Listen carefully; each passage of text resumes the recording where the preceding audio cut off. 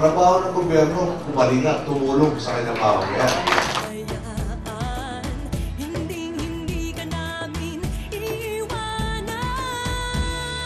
The true test of the democracy is your ability to defend the rights, especially of your enemies, rather than just your friends.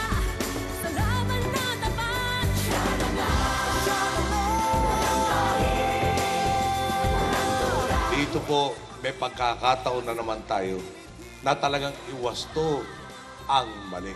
Ang susi po dyan, nasa inyo makabago. Seryoso kami. Na talagang gumawa ka ng katiwalian, hahabulin ka namin.